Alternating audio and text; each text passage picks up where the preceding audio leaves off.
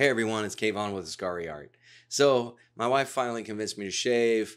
Uh, I guess the quarantine is just wearing on everyone. I was getting a little lazy with keeping it all clean and trimmed, so uh, she finally convinced me. But that's not the point. I'm super excited about this video. Um, as you know, I love to paint on different surfaces. I paint on poster board for my alcohol ink demos. I do Yupo paper, acrylic, uh, glass. I also paint on carbon fiber, as you can see behind me. But with all these different surfaces, there's a different process in, in giving you the ability to actually paint on it. So for the carbon fiber behind me, uh, what it requires for me to do is I have to seal it with resin two or three times, sand it in between, and then that allows me to paint oil. For canvas and alcohol ink, what I do for canvas is I, I sand it, I paint Kilz 2. I use Kilz 2 and I do two or three coats of that and I sand in between. And that semi, it, it gives me a semi sealable surface. Wow, that's a tongue twister. Um, and that, that allows the alcohol to stick to it, but not to the point where I can't move it. So in the last video, I show you how to stretch canvas on a stretcher. And in that example video, I was using linen because I mentioned in that video that I have a journey. I'm on a journey to figure out how to seal linen without losing the natural color and texture of the fabric. The reason why I want to do that is because I think it adds a little bit of uh, interest and depth to the painting itself because it's the background. The background has a lot to do with it. Since I'm not completely covering the canvas or my paintings with alcohol ink and I leave areas exposed to either white, I leave either white or leave it with like carbon fiber. Um, I love to leave certain areas unfinished and, and blank. And I think the linen would really help with giving that kind of texture and depth to it. So now I know that you can buy linen already sealed and you can find it. Um, they have it sealed for oil paintings, and I'm sure you could probably find it uh, or use that for alcohol ink. However, linen by itself in its natural state is expensive per yard. It's pretty expensive. So with linen with that sealant even adds more to the cost. And the, the cost isn't everything because I think the reason why I've been on this journey to figure out how to seal this material is because I think it opens up a world of other materials that and fabrics that we'll be able to use uh, without sealing it completely with like Kilz 2 with the white look. Um, so you'll be able to seal denim, muslin, silk, uh, just any other, and including linen and even canvas without losing the natural color and texture of that material. So this is exciting for me. I figured it out. I know the material and I'm about to show you what I've learned. And we're going to actually do a painting together with this material um, already coated on one of the pieces, the canvas or linens that I have. And I'm going to show you how I'm moving the alcohol ink, how it's allowing me to move it. And then at the end, I'm going to show you what it is that I've used. So let's get started. Um, okay, so I've got two pieces, two canvases here. Um, this is the first one that I've coated with uh, one of the materials and the second one that I coated is over here which it looks terrible. Uh, I would never use this material. This is polyurethane. So this is the fast drying polyurethane. It's obviously blotchy. It's, it, it, this was tightly pulled on the stretcher and when I added the polyurethane, it literally curled it up and it loosened it. So I'm not exactly sure why that is, but I would never use this and it makes it kind of brittle. Um, it's kind of weird. It, it, has a weird feeling to it. Like I can stretch it and then it, it stays there like that. So not good. So I would not recommend polyurethane. Um, the, the second chemical that I would not recommend is Kamar varnish, only because Kamar varnish is expensive and it comes in a spray application. I haven't been able to find it here in a uh, brush application, but knowing that the spray applicate the spray applicator version is so expensive, um, I, it's just not cost worthy for us to, to spray. And you don't want to spray, you want to be able to use something that's brushable, that's application. You use the application by brushing it on. So again, I would not recommend Kamar varnish because of the price and the fact that I can't find it in a brush application. So here's the here's what I've narrowed it down to. So this is the piece of linen that I've already applied the material on, and I'll tell you at the end of the video what it is. Um, but I wanted to show you first uh, in this little quick painting demo how it reacts on linen, um, how inks react on linen. So I'm going to do the same thing as I would uh, as a um, as I would if I was to paint. So I'll pour alcohol on it.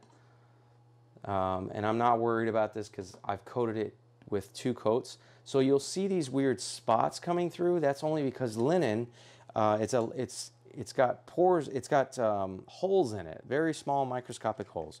But that doesn't, that's okay because once the alcohol fades, you're not gonna be able to see that.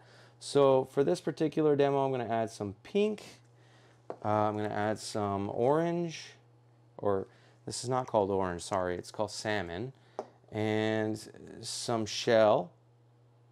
This is called shell pink. And we're going to move it around and see what we come up with. And I'll show you that this allows you to move it around just like you would any other, just like you would paint alcohol ink painting. So obviously this color is not too bright. Uh, it is bright, but it's just not full of pigment. And let's add a little bit more here. And I usually don't start in the middle, but for this example, I just want to show everyone this example of uh, how this actually allows you to work. And I'm going to add more alcohol. You see how it's allowing me to move it with no problem. Now the problem, the characteristic of linen is the fact that it will seep through um, because it's got little pores So all I'm doing right now is I'm just moving it around just to show you that this allows me to move it. And I'm going to add another color. I'm going to add pitch black because I want you to really see how this allows you to move it.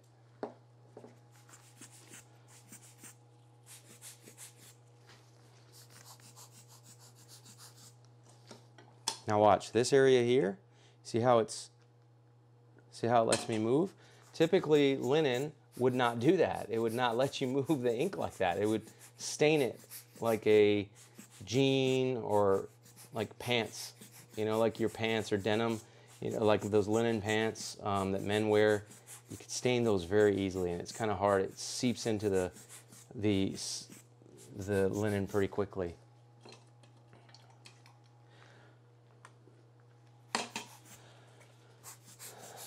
So I'm just going to do a quick, I mean, this is just a quick sample to kind of show you that this, can, this stuff does work. Now, like typically I don't like, um, I want to wisp this, so I'm going to wisp this, uh, I'll use a blow dryer because it's faster.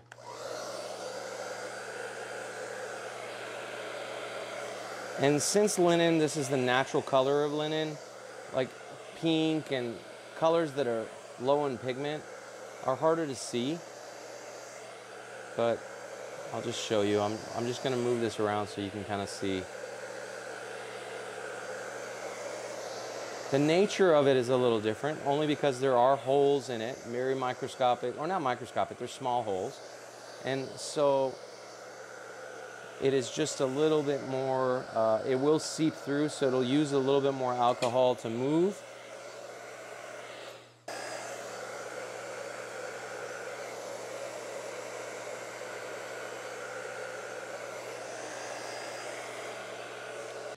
So you can see how easily I can move the ink around and it leaves the texture which is really neat. So I'm going to add a little bit right here. I'm not thinking about composition in this piece. I'm just like using this as an example, so bear with me. Um, I may actually start thinking about composition because that's just my nature. I'll, I'll start it's good practice anyway for linen. And it's and this gives you an idea of what it can and can't do. And that's the idea for this. Uh, I want to be able to show you what this can do and what the characteristics and how linen reacts. It's a little different than canvas and Yupo paper. because this is actually seeping underneath and I can show you in a minute. But you're still able to do some really cool stuff with it. Um,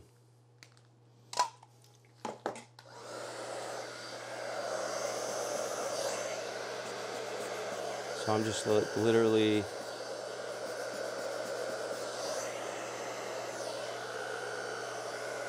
Now, even on canvas, when you coat with Kilz 2, it, it does leave a little bit of a residue, which this is doing.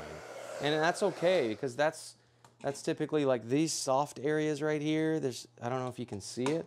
See if I can bring it in. You see this area right here? It's really nice. There's like very soft areas and that's the idea. So you see how the back, what it's doing on the back, and that's perfectly normal. You're not gonna be able to see it once it's dry because the ink on the top is going to be more dense than on the bottom. Um, and that's okay. So let's, uh, let's try something here. I'm just going to like move this around a bit, do some interesting stuff, fade it down.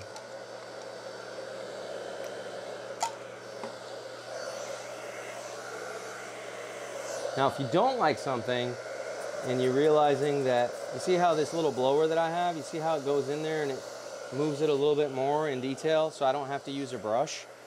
I mean, you can use a brush. Um, I actually recommend using a brush every once in a while if you need to move something like, uh, if you don't like something that you see and you want to move it like to the edge or you want to highlight the edge, I can show you how to do that as well. Um, again, I'm all about sharing my secrets and tips, so uh, bear with me in a minute. I will get you a brush. So I typically use um, a very thin brush, if I could find it. I thought I organized my studio, but I'm always like, since I organized it, I'm having a little trouble finding, oh, here it is. It's right in front of my face. So here's the brush that I typically like to use for detail. Um, I'll pick like something very small like this. Um, it's very, very fine point. And, and what I like to do is I dip it in the alcohol. And then if I like to, if I want to do some fine detail work, I'll just brush the alcohol in there and release the paint with it. So it'll, it'll release the area that I, that I put it on. See that? So it's, it's, I don't know if you can tell, this area right here, um, over here. So it'll, it'll leave these little fine details and, and you can do that by just going along the line. If you thin it out, you can do that with gold too. And you can dry it out or you can go in there and drop a couple more drops to loosen certain areas and darken other areas.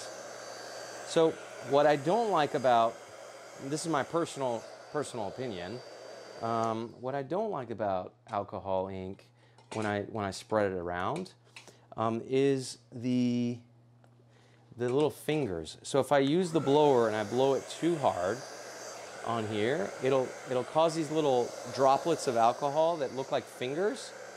And that's just, you know, it, that's because I blew it, blew it a little too hard with the blower. Um, and I'm just not a fan of that. So I'll add a little bit of ink there and possibly maybe just a hint of black.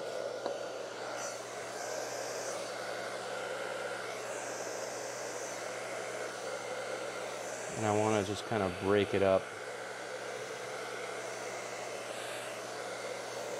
See these little fingers right here?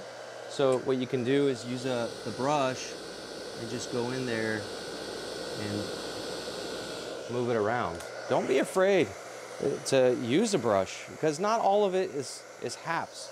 Some of it is, um, some of it is haps, like haps as in uh, it just happens that way. Um, so use your finger. I'm using my finger to kind of clean these areas and give it a little bit more uh, depth. Cleaning the edges a bit.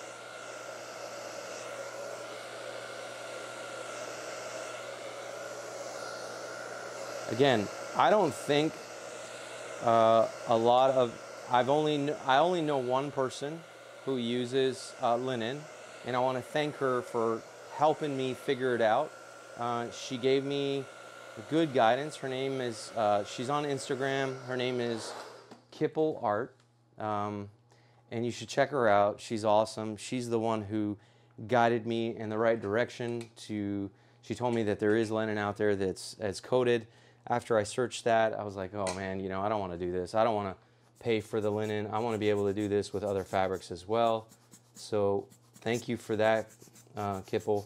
That really helps. And you're helping the Alcohol Ink community by sharing your knowledge with me. And in turn, I, I share it with the world. Once I figure out what um, we use, what the best method is to use for this. Now, she says she buys um, coated linen already made. I didn't even know that existed um, until she told me about it. And then I thought, well, I'm going to do more research and figure out what I can use to coat it. And then I'm going to share that with the Alcohol ink world. So I give her props for helping me um, with my journey, with figuring out what to use. So thank you, Kiplee. So, okay, so I'm gonna say maybe this is done. All right, so now I'm gonna add a little bit of gold. And I typically, you know, there's some that add gold as they're painting, and that's cool. Um, that's really cool, actually. I, I do that sometimes, um, but I'm gonna do that not completely done, so I may actually move some of this around. So I have another dropper here that I use for the gold. And what I'm using right now is Pinata Brass, and that's my favorite gold. It's actually the closest to gold I've ever found. Um, and and you'll see it is it's beautiful how it works. Um, but it's called brass, so that's a kind of misleading if you ask me. So I'm just gonna drop that there and see if I can move it around a bit.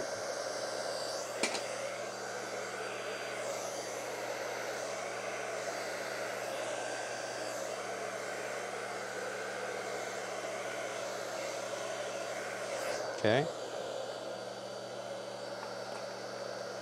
I don't like this, I'm going to try to move. I add more alcohol to just move it around where I want.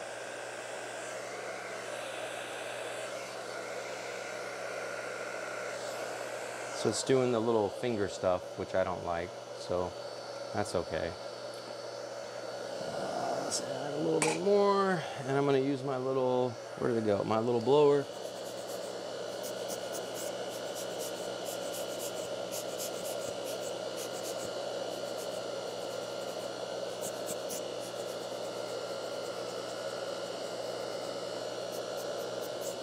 So I'm just literally spreading it out.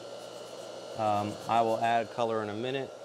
Let's add some of this uh, salmon color here and a little bit of pink. Oh, I'm sorry, shell pink.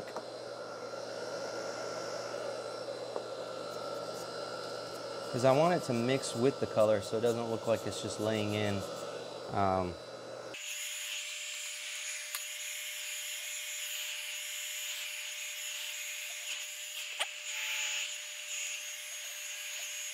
So I'm not done with this because I'm not liking some of the composition. So it's me.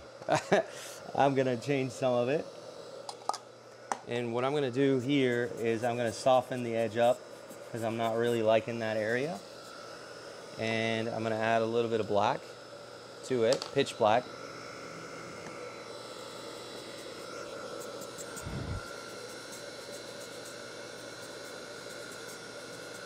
When in doubt, use black. I'm just kidding. Don't do that. Don't. Um, pitch black is great. I would. Um, not always use black. Um, sometimes though on this, I think you want a little bit of a pop, so I would use pitch black for that to just give it the pop you want.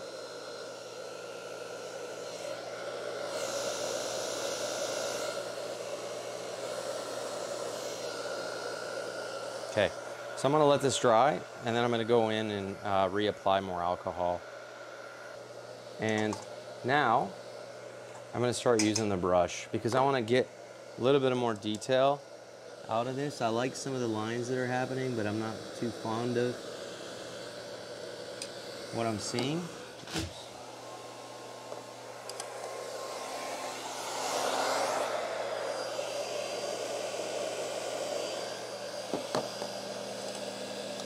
So I'm going in there and just adding, I'm going along the edge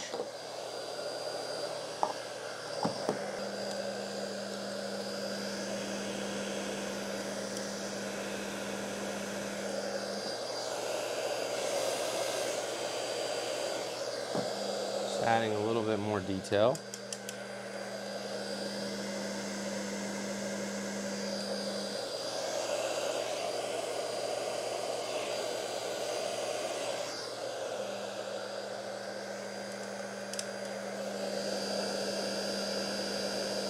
So again, if you're not happy with something, which right now I'm not really too happy with that right side, if you're not happy with something, don't be afraid to change it. And that's what I'm about to do. So I'm gonna change that because I'm not too fond. And if you have trouble with the gold, because it's kind of spread out, you can use a brush to move it. Don't be afraid. So use a brush and just lift it off the linen or the canvas. Um, in this case, it's linen. Don't be afraid to move it around and lift it off the, off the canvas.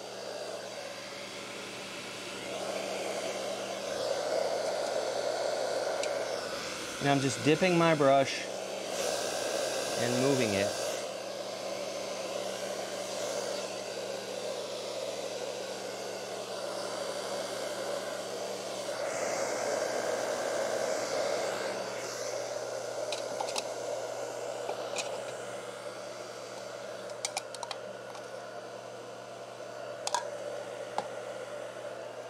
See how easy it is to just lift the paint right off the linen?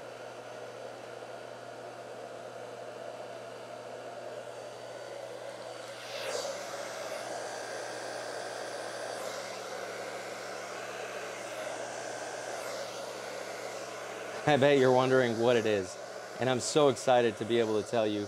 Um, you can always fast forward to the video, through the video to see um, but I really encourage you to watch because it helps. I'm sharing tips as I go, and that really helps for you, fellow alcohol ink artists who may not, um, either beginners or ones who may not know some of these tips.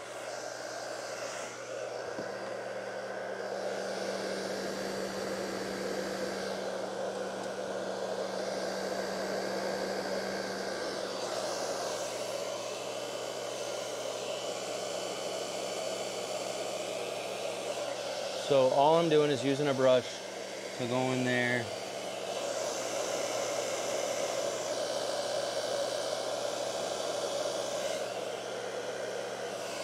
And just add some of my lines of detail. See like this stuff I'm not too fond of, so just dry it out.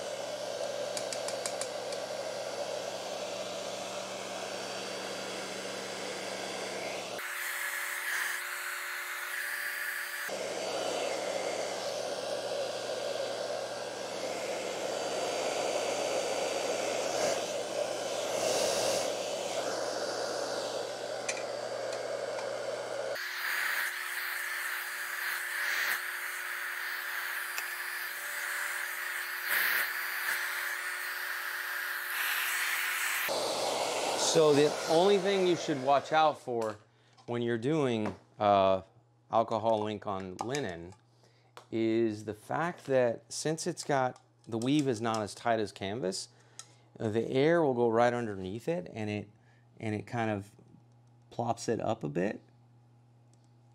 Um, so you just have to be careful for that. And so now what I'm doing is just adding even more detail with my little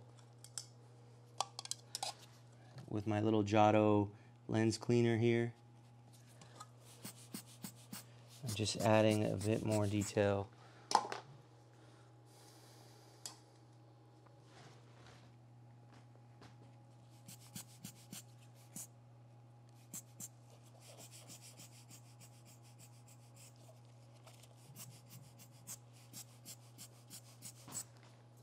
Some of the areas that I'm not too fond of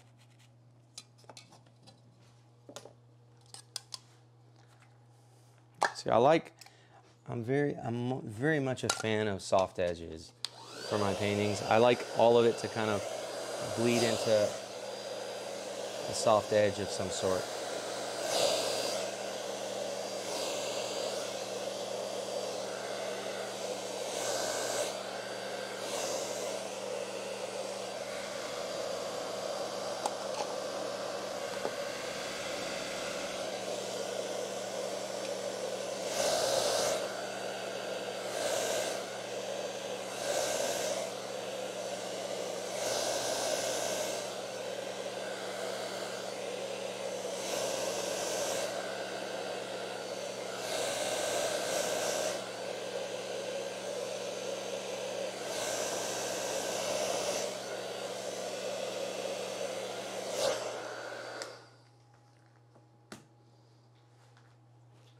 I'm going to add a little bit of pink right there. And when Doing that, why I'm doing that is I'm just trying to balance, I'm trying to break this area up a bit because it is too much. Uh, and this is the gumball.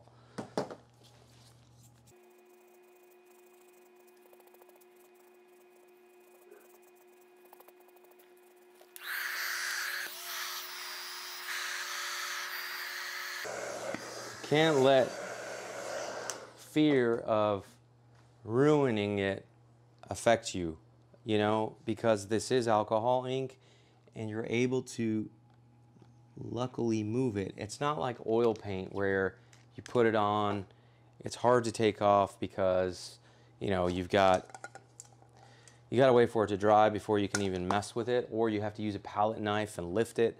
So that's where that's the beauty of alcohol ink in my opinion um, is that it's so fast in drying. Um, it's got advantages and disadvantages, the fact that it's fast at drying. Um, the advantage is obviously you can lift it and move it and you know what you're going to get. Um, the disadvantage is it dries too fast and you don't have time to move it and you have to decide on what you want um, as quick as possible. Uh, I'm going to do a couple more things here to it um, because I, I'm not done with it. So right now what I'm doing is I'm lifting the gold off.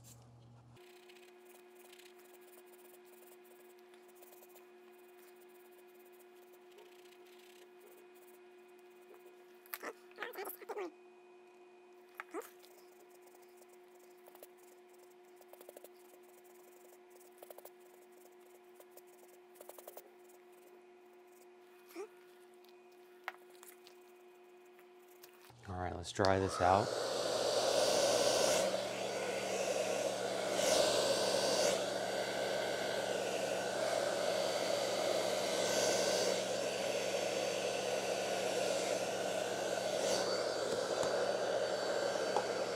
One more small thing.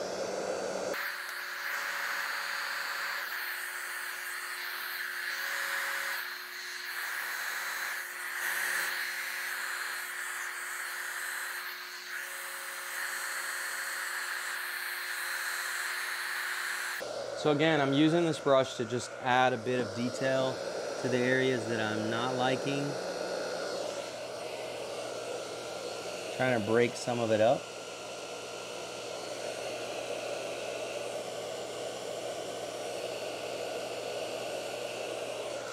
And I've, I do this a lot. I, I look at it compositionally and I go, you know what? I don't like this line here, so I'm gonna move it. And, or I like this line, I'm gonna embellish it. So embellishing it, you basically, um, you're making decisions as you go through this. So, you know, like for example, embellish a line. If I like, let's say I like this gold right here, what I'm gonna do is I'm gonna put some alcohol ink next to it and kind of push it towards it so that it gives me that stronger line right over here with the pigment. Gold is just a little bit difficult, more difficult because it's it's basically like micro pieces of glitter.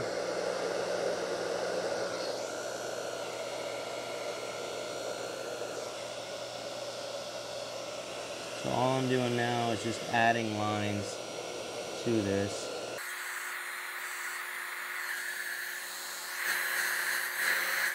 Just have to add more alcohol for linen than the regular. A regular canvas, that is, or Yupo. It's a little different because the alcohol is literally seeping through, like I mentioned earlier.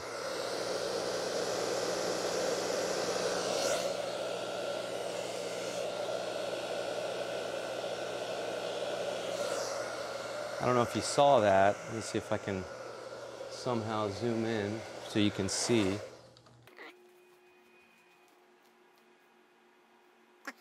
I don't know if you can see that or not. I'm to try doing my best so you can kind of see what I'm working with.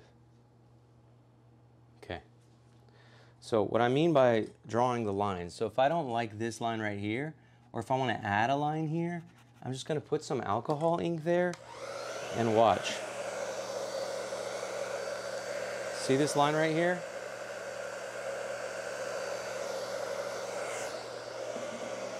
Okay, watch. So if I don't like, like let's say I want to add a line here, I'll pull it, I'll put some alcohol down and literally it's hard because it's drying before I can even bring the blow dryer in. You see how I added that line of detail um, in it? So it looks like haps, but in actuality, there is a lot of you know areas where you have to decide. Well, that's how I paint. Um, a lot others may not paint that way because I, I do like to have some control, uh, decision making control in it.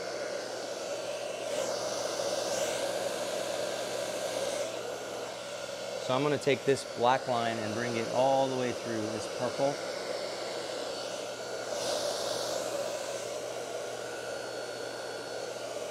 And just push it kind of through and hopefully it dries so you can kind of see. See that?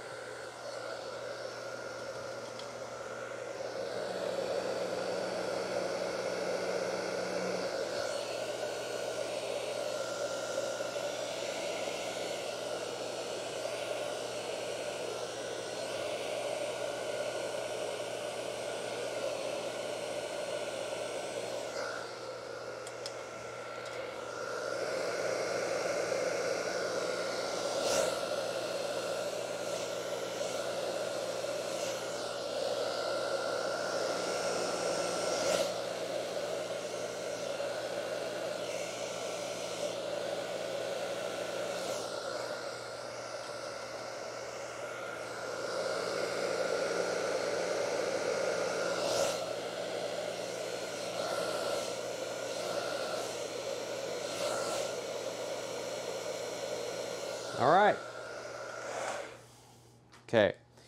So this is the piece. Let me see if I can uh, lighten it up so you can kind of see. Okay. So this is pretty much the piece. And it turned out nice, I guess. Uh, that's just good for a demo. The ability to clear or to, to ability to seal any kind of material that I can think of fabric related. So silk, muslin, denim, um, linen for sure, and possibly cotton. I'm to actually test it on sheer, so I'm excited about that. But this is what I use. So there's a bonding primer called Kilz Clear. Now, I didn't even know this existed. I asked people at Lowe's and Home Depot and hardware stores if they had anything that was clear like Kilz like the, what Kilz does do you have anything that that is like Kilz that's clear and everyone would recommend most people would recommend either polyurethane this stuff or um, they would say no I, I don't know well after i found out that linen is obviously sealable Um, and I started looking for an acrylic clear primer. And once I found, once I started looking for that, I found that Kilz actually has a clear. And it's an exterior primer. It does the same thing. It's a multi-surface sealer and it's transparent. Now, I'm not exactly sure if this stuff yellows. I know that it's water-based, so I know that typically oil-based primers like Kilz, Kilz that's oil-based, or Kilz 2, I think they have, or 3 can be oil-based. Those are white, and white typically tends to yellow when it comes to oil-based white paints. That's why I typically recommend Kilz 2 acrylic. Now, and that's water-based. This is water-based. So I'm not sure exactly if it will yellow over time or um, I, am just not sure. I don't think it will yellow. All I know is it it seals so well. I used to seal this, I used two coats. So this is two coats that I use just a standard brush and I I brush the application. So now when you brush it on the first time, it's cloudy, it's milky. So you want to make sure, um, don't worry about it. Just, just brush it on and let it dry. Once it dries, it becomes clear and you won't even be able to tell it's on there. The only difference that I feel is just a little stiffer and I can feel a little bit in the texture, but that's it. And since this is linen, I don't recommend sanding it like I would if it was canvas, but um, you wait for it to dry and then you apply another coat. Now, I only did two coats on this and it's moving alcohol fairly well. The other um, thing that you can do is you can seal both sides. If you're worried about the back looking like this, you can always seal both sides. But as you can see here, you can't see those dots on the on the front side because the sealant, I guess, leaves it on the other side because this side is not sealed. I didn't seal this side. I only sealed the front.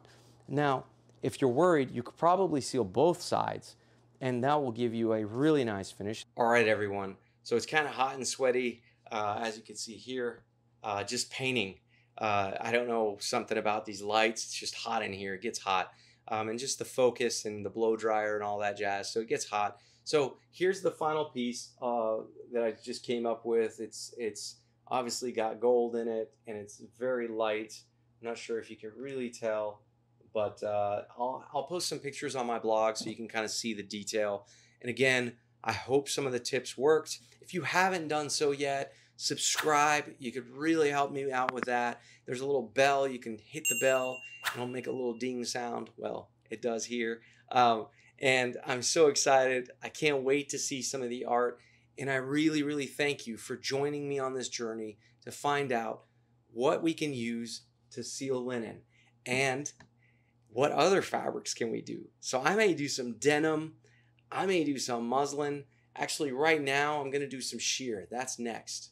So, and you're going to watch me paint. So stay tuned, excited. Take care. Askari Art.